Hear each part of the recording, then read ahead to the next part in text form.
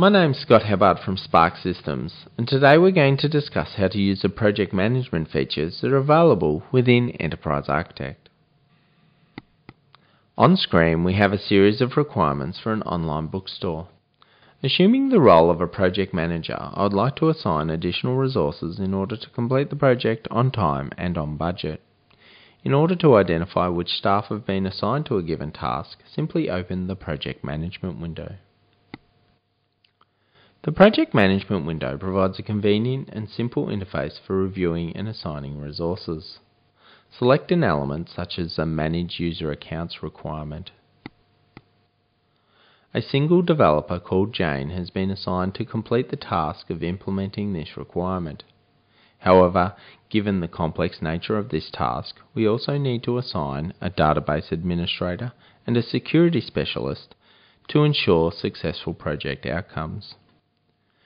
To assign additional staff resources, click on the New button. Then you can use a drop-down list to assign a staff resource and corresponding role. The convenient drop-down lists make it easy to select the start and end date for each task. You can enter details such as the expected time, in this instance, about 67 hours. This data can be used by the project manager for estimation and costing purposes.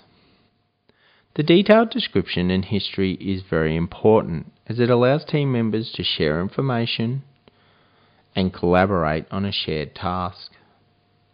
This information can also be reviewed by the project manager to identify any key milestones or problems that have been encountered. I've now assigned three different resources to complete the Manage User Accounts requirement. The DBA developer and security specialist will see these tasks appear in their personal task window. As a project manager, if I open my personal task window, I'll see a custom list of tasks that need to be completed. They are now shown on screen. Every member of the team will have their own unique list of tasks that need to be completed. This will help people to better manage their workloads on a daily basis. Assuming the role of a project manager, I now need to examine the project as a whole. To switch to the Gantt view, simply use the diagram context menu. The Gantt view illustrates a project schedule by showing the start and finish dates of assigned resources while the status bars allow the project manager to quickly review the current status of a project. There are four different Gantt views available within Enterprise Architect, the Diagram Gantt view, Personal Tasks, Project Gantt view, and the Package Browser Gantt view. It's important to understand how each of these can be used. I can get a quick view of any project slippage by toggling the highlight option for overdue items. This option is available from the Gantt context menu. The red highlights make it easy to identify any problems that may cause project delays, allowing you to take immediate corrective action. Even when a project spans over many months, you can move around the timeline with ease to jump between today's date, the start date, and end dates. Simply select the appropriate task and then use the context menu to display the end date or the start date or today's date in the center of the screen. The left hand side of the Gantt chart lists the element name, the status, the role, and a column to show how complete each task is. Each column has an active filter to quickly locate a given task. For example, I could search for all tasks that are less than 15% complete that have been undertaken by a database administrator. I can then use the project management window to assign additional resources and take corrective action if required. I can also use Model Mail to communicate with staff to rectify problems early. I can insert links to specific model elements so that staff understand what I'm talking about.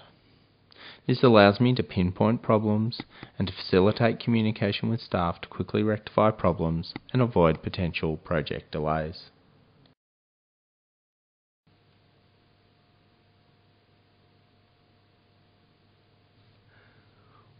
We shall now examine how to use the gap analysis matrix to assist with project planning and resource allocation. We've used Enterprise Architect to model how customers pay for books in our bookstore. This diagram represents our current or as-is state. Customers can use cash, cheque or electronic funds transfer to pay for their books. With the creation of our online bookstore, we need to accept other forms of payment, so we've modelled our future state as shown in this diagram. The gap analysis matrix is a tool used to analyze model artifacts for potential gaps in solutions. This allows you to then model any gaps in the repository. In this example, we're going to model some requirements. Let's have a look at the gap analysis matrix now. You'll note that I've mapped the target architecture to our future package, while the baseline architecture points to our current package. You can use filters in order to display certain elements. However, in this example, I've left both filters blank. I've saved the profile, allowing it to be reused at a later date, and I've instructed Enterprise Architect to record any gap as a requirement. Enterprise Architect has automatically identified two gaps in my model. In order to create a gap element, I simply use the context menu and then select an appropriate package to save my gap elements, which in this example happen to be requirements. Enterprise Architect will then automatically prompt me to enter the properties for my requirement. In this particular example, I'm going to create a mandatory requirement for processing online PayPal payments. You'll note that this requirement then appears in the project browser under the GAP package. I'm now going to repeat this process. In order to process an online customer, we need to have an online customer portal. So I'm going to create a requirement to create that portal. Now both of these elements are available within the project browser. I can now view the package browser as a Gantt view so I can see these elements in a format where I can use the project management window in order to assign resources to ensure that they get completed on time and on budget. Before I handle my PayPal payment system, I need to create the customer portal first. So what I can do is I can use the control key to zoom out and I can move all of these tasks so that they do not begin until after the customer portal is completed. This allows me to properly manage any dependencies within my model, which is great for project planning.